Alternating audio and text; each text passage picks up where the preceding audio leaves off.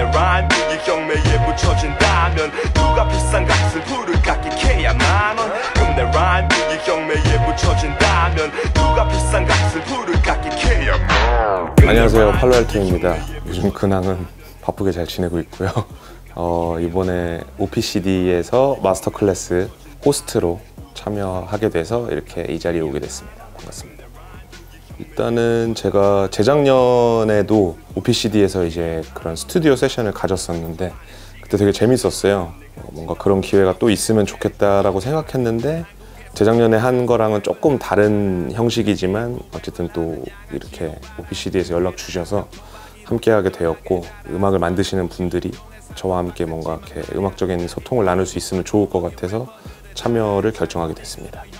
모두 비슷하겠지만 음악이 너무 좋고 그리고 이제 음악 만드는 게 너무 재밌고 하다 보니까 이게 직업까지 됐는데요. 저도 음악을 만들면서 또 이렇게 알려지기 전에 아니면 완전 아마추어일 때는 이제 어떻게 필드로 나갈 수 있을까에 대한 어떤 막연함, 막막함이 있었는데 창작에 몰두하고 그걸 얼마나 재밌게 해내느냐 그 과정을 재밌게 하느냐 뭐 그런 게 중요한 것 같아요. 저도 돌이켜 보면은 사실 뭐 제가 원래 이렇게 아마추어 때부터 기존의 어떤 프로 뮤지션들이나 뭐 업계에 있는 사람들을 알았던 게 아니고 음악을 만들다 보니까 자연스럽게 이렇게 다 알게 되고 교류하게 되고 이렇게 차츰차츰 단계를 쌓아갔던 것 같거든요.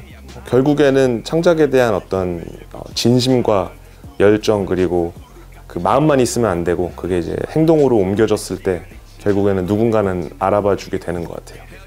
음악 작업하는 사람들마다 다 방식이 다르고 프로세스가 다르기 때문에 제가 해온 방법만이 정답이 아니라고 생각하고 그리고 제가 하는 방식대로 다른 사람이 한다고 또 그게 효과적이지 않을 수도 있단 말이에요. 그렇기 때문에 저는 일단 제가 그동안 쌓아온 노하우를 이제 공유하는 거고 거기에 이제 참가하시는 분들은 이제 그거를 참고해서 이제 본인의 음악 방향성에 혹은 프로세스에 이제 참고해서 좋은 건 취하고 뭐 아닌 거는 이제 제하고 이러면 될 것 같은데 그들이 원하는 거를 알고 싶어요. 제가 그냥 딱 준비를 딱 해가서 준비한 대로 딱 사람들에게 설명을 하는 게 아니라 저의 작업 파일을 공개하고 뭐 제 이야기를 좀 나누고 그리고 그 사람들이 알고자 하는 것들, 저에게 알고자 하는 것들을 기반으로 좀 마스터 클래스 시간을 한번 가져보려고 합니다.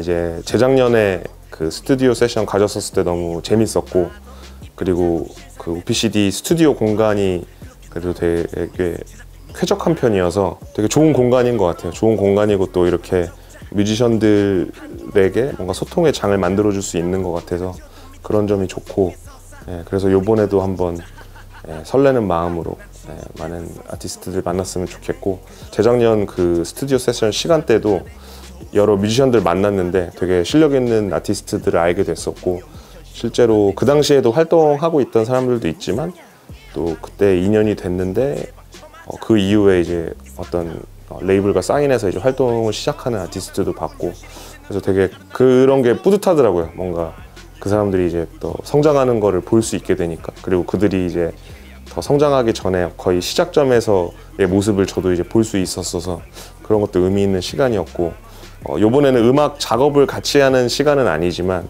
어쨌든 또 음악적인 얘기들을 많이 나눌 수 있는 시간이니까 네, 한번 또 재밌게 해보겠습니다.